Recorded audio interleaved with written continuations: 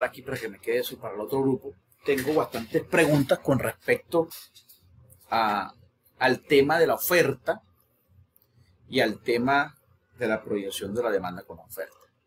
Entonces, para hacer una retroalimentación de cómo trabajar la oferta con números que ustedes los aproximen de manera hipotética a que sean lógicos al trabajo que ustedes están haciendo. Entonces, ya nosotros hemos definido un segmento que es nuestra población. Ya, un segmento que es nuestra población. Ese es el N. Con ese segmento poblacional, que es un universo poblacional, que no necesariamente es toda la población de la ciudad, puede ser un segmento especificado, puede ser que esta ciudad tenga 500 mil habitantes, pero el segmento que escogimos tiene 233 mil. Con esos 233 mil ustedes sacaron su muestra con las técnicas estadísticas eh, y diseñaron una encuesta. En la encuesta tenían preguntas que le iba a determinar la potencialidad de la gente que le iba a comprar. O sea, ustedes con una pregunta iban a determinar si, si la persona quiere comprar mi producto o no. Hay que preguntarle de una manera muy acertada. Entonces, digamos que en este caso, eh, el 75% de las personas respondieron que sí iban a comprar ese, potencialmente ese producto. Entonces, ese 75% corresponde al, al 174.750 de mi población. Entonces ya tengo mi demanda potencial. Esta es mi demanda potencial. Demanda potencial. Ahora que viene, tengo que tomar mi demanda real o insatisfecha. Mi demanda real o insatisfecha que es la clave.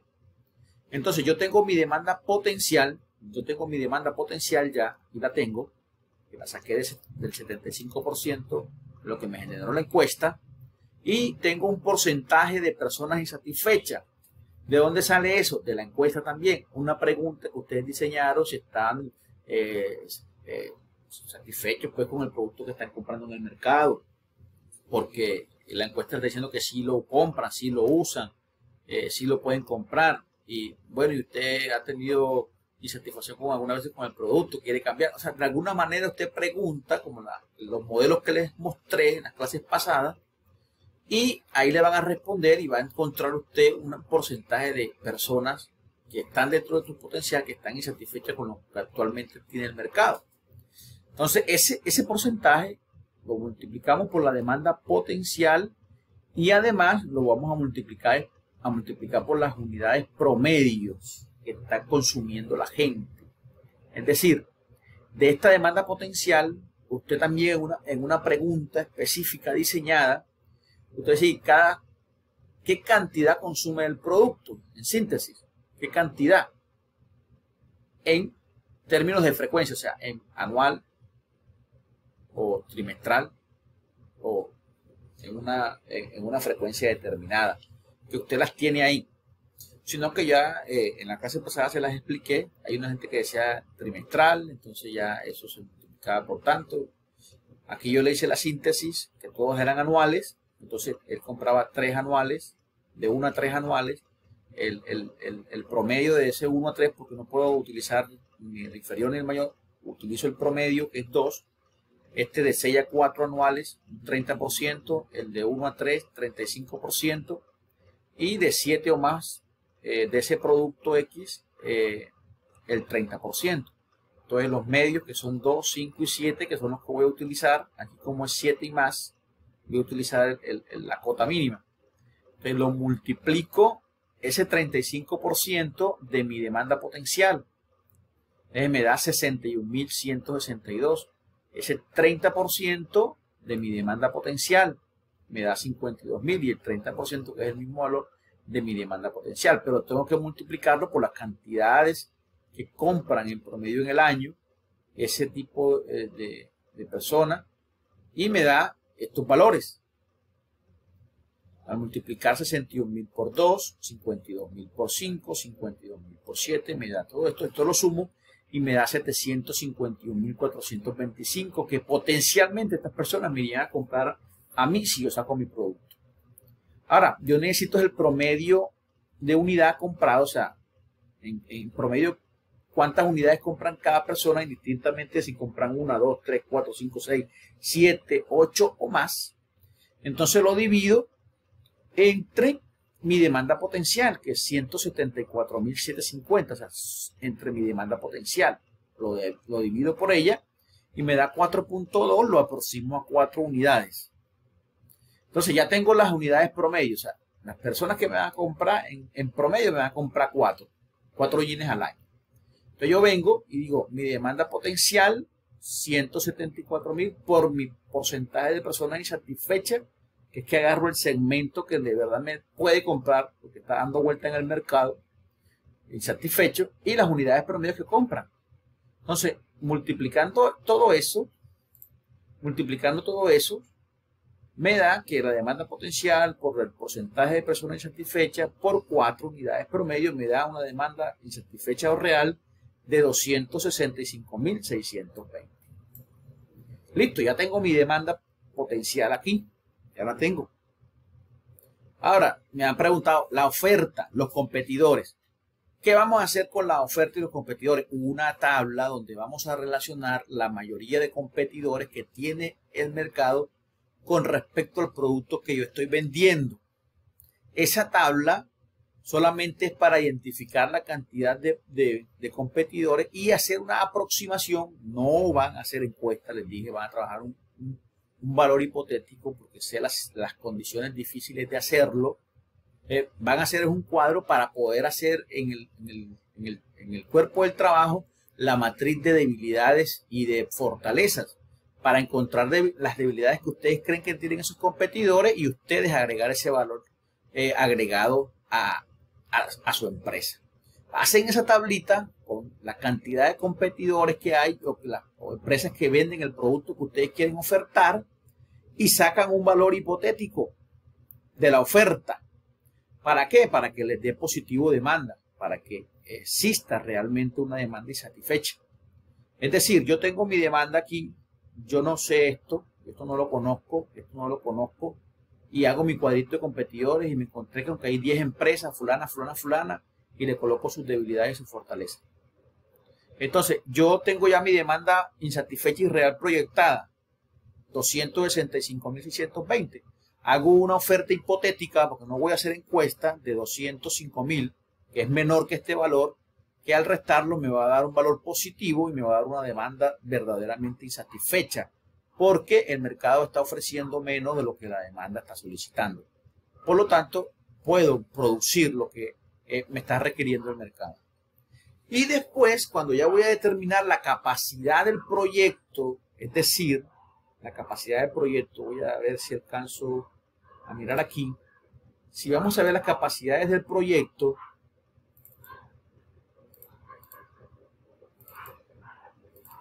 eh,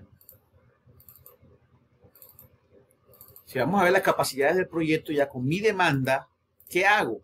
Si yo tengo mi demanda, yo tengo mi demanda, si voy a determinar mi capacidad del proyecto, yo voy a decir la capacidad cero que yo voy a determinar, según eh, la exposición de los compañeros pasados, yo tengo mi demanda que es de 265.620, yo no salgo al mercado con el 100% de la demanda real o insatisfecha. Yo no salgo a producir toda esa demanda.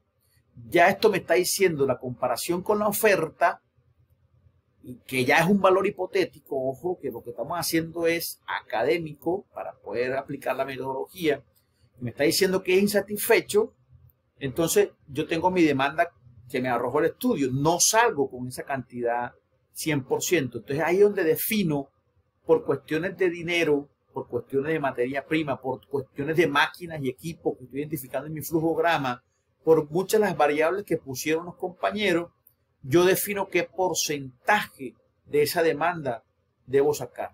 Por lo menos yo debo salir con, un 50%, pero eh, eh, es válido, es válido salir con 40, 44. Pero no, mm, a veces no es muy válido salir con 30, 20 porque después no te va a dar rentabilidad. Eh, dependiendo de donde quieras llegar. Si tú sales con el 50, tú defines si sales con el 60%. Eso lo definen ustedes. Sí, dígame. Yo tengo una pregunta. Sí, dígame. Habla con Anderson. Eso, esa, esa, digamos que ese porcentaje yo lo tomo sobre la diferencia que me queda entre la demanda real, ¿sí? Eh, bueno, después de la resta de la oferta que se encuentra en el momento, o sea, por ejemplo, no sé, no, que usted hace. No, no, no, no, no, no. Aquí te puede dar un valor, por lo menos 265.620 menos 205.000 eh, 205 mil. Te da un valor de 60 mil, aquí te da 60 mil, 60 mil, 620. O sea, eso que me está indicando aquí, que este valor es positivo, de positivo demanda, que hay una demanda insatisfecha. O sea, que sí realmente la hay, porque la demanda es mayor que la oferta. ¿Ya? Entonces, este valor es solamente de análisis. ¿Ya? De análisis. Pero la demanda que yo en la que yo me tengo que basar para sacar la, capacidad de producción es en la demanda real y satisfecha. ¿ya? De este valor yo defino 50, 60, lo que el proyecto me pueda dar eh, según las, los dueños de la inversión. Entonces yo digo, bueno, voy a salir con el 60% por tales, por esto, por esto, por esto y por esto. Justificarlo. O sea, no es que voy a salir con el 60% y ya, no, por esto, voy a salir por esto, voy a eh, la, maquinaria que me tenga que, que me, llega, si le invierto el doble, se me pasa la producción a 300 mil y comprar dos maquinarias de mucho costo para que me produce 300 mil necesito producir nada más 265, me queda stand-by. Le compro una que me va a producir el 50%, o sea, todas esas justificaciones. Entonces, yo digo, voy a salir con el 60, 265 mil 620 por el 0.60. Entonces voy a salir con 159 mil.